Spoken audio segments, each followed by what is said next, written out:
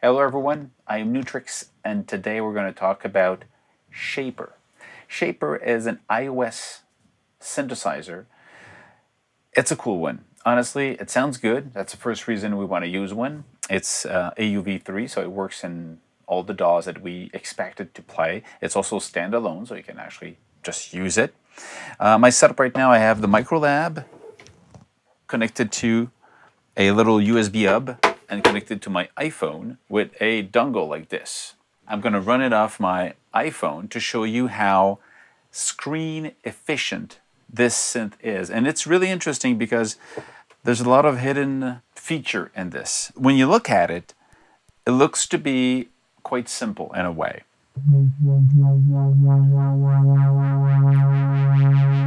Okay, so what do we have here?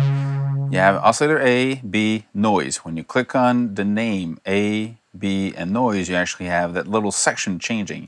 At the bottom, you've got filter and routing. If you go filter and routing, well, the filter, you click on it, uh, high pass, low pass, and band pass, but there's a drive on it, which is a really cool thing. I, and I really love having a drive in the filter because you have that aggressive tone to it.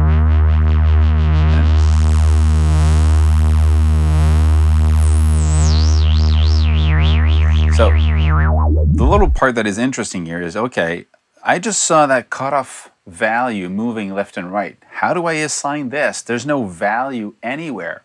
Well, if you want to know what's in, you know, the cutoff assignment, you double tap on the filter button and then you got filter cutoff. Well, you see envelope B is assigned to that and, and LFO A is assigned also to that. And then this, this value here, you can decide how much. The envelope, it's on one way, so it's going to bring it up and down, whereas the LFO is vibrating on each side. And you can say, well, I just want it to be on one side, like this, or I want it to be on the, you know, like that, just on one side, or both sides. So, and if you don't want it anymore, you go remove and remove and they're gone. If you want to assign again, oh, that's a cool thing. You, take, you click on the name of envelope, you see I can drag it and I drop it on cutoff and then I say how much I want. Same thing with the LFO. I click on the LFO and drag it and drop it on cutoff again. I can actually take LFOB and drive it on, drag it on resonance. No resonance here. See, this one is changing differently. So these two, so that is the hidden feature in this because this is really cool. I mean, you can just drag and it, it doesn't take another window. It doesn't take more space. It's just like you just click on it and drag it to, I don't know, the volume and then it also affects the volume now. You know, really cool, really quick to do. This is for oscillator A. You can actually do the same thing for the B if you want to. And oh, this, here we go. If you want to have some noise, let's bring some noise. Let's bring some noise. Yeah, that's a flashback.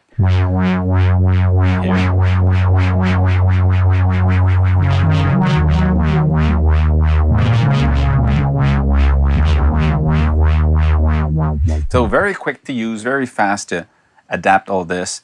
One of the cool things is when you click on the uh, LFO, you can actually design it. You can double tap to add another node if you want, double tap. So you can create these very complex LFO, you know. Let's keep the, well, I've got too much stuff happening, but yeah. You get, and uh, let's actually double tap this, get rid of this one, and then you're going to have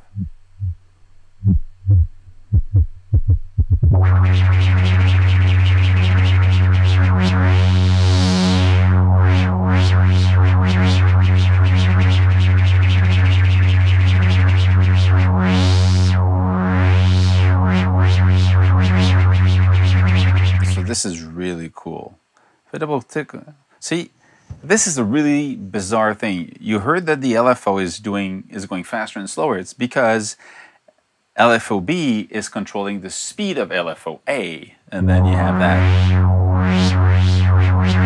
This is just fun. So if I get rid of this, Now it's just LFO-A having the same speed all the time.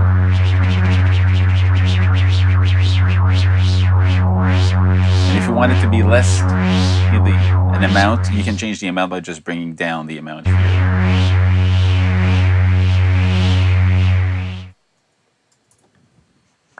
So this is really, really cool. Um, you have the grid. It shows you the grid at the back you want it to have. And then you go, what's the grid for? Well, the snap is interesting. So there's a little snap button here. Take off this. Actually, when you move it, now it's going to snap to these values easily, you know. So if you have this and you know, well, I want this to be snapped here and I want this one to be snapped here. So now it will follow the amount that you decided. So this is pretty cool. So really complex LFOs that you can actually design. Very, uh, the shape of the envelope, really powerful. I mean, you've got controls here that you don't see often in, you know, software synth, especially on the iOS. You have uh, control at the bottom for the keyboard, and you have another section for effects. Uh, you've got three slots of effects. When you click on it, you have a list of bit crusher, chorus, delay, distortion, filter. So you can have another filter if you want, phaser and reverb. And I mean, actually, to have you hear them, let's click on some of the sounds. Let's say you have a bass sound.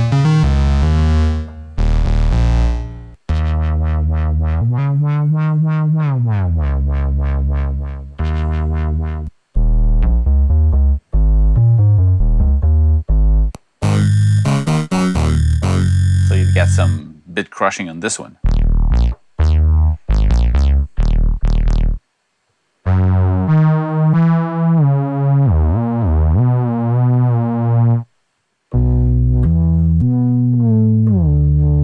And I, and I, I like the sound. It sounds good. It sounds round. It sounds analogish, you know?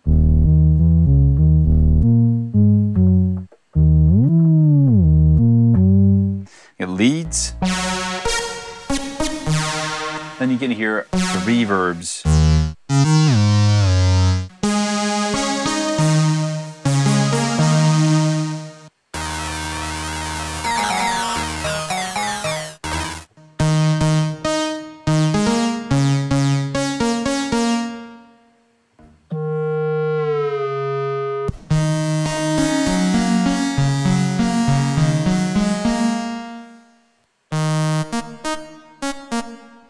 So they're really clean.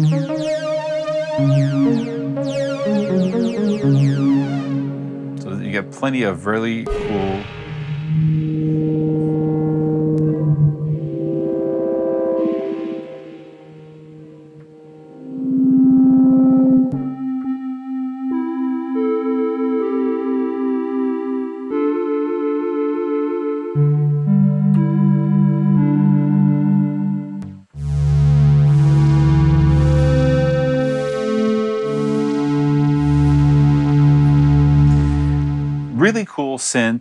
quick to use, powerful ways to use it. I mean, the assignment of the matrix of modulation, the fact that you can actually, you know, just slide it and drop it really is a powerful thing.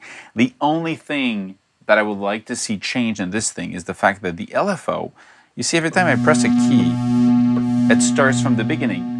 Every time I press a key, one, one, one, one, one, the LFO is, is re-triggered. It's key triggering every time. And this is something I don't like. Personally, this, it becomes a just another envelope because an envelope is triggered every time you press a key. What I like about LFOs is they're just free running. They're always vibrating. And when you play, you get the value where you at when you play. So it makes that the sound is always a little bit different. So that's why I would ask, please, and if anybody also is like me, I would like to have a button. You could just be besides BPM here. When you click key triggering on or off, because I believe that it opens up a lot more because you can even do grids with this. You know, if you do these grid uh, with the snap, it becomes really kind of a sequencer if the grid equals you know the value you want, you have this type of very interesting sequence, step sequencer in here. But I don't want to be retriggered every time. I want it to play and I'm going to get where I am in the grid somewhere. So, suggestion for the next version, next update. That's it, guys. Hope this is useful. See you soon. Have some fun, make some music, stay safe. Cheers.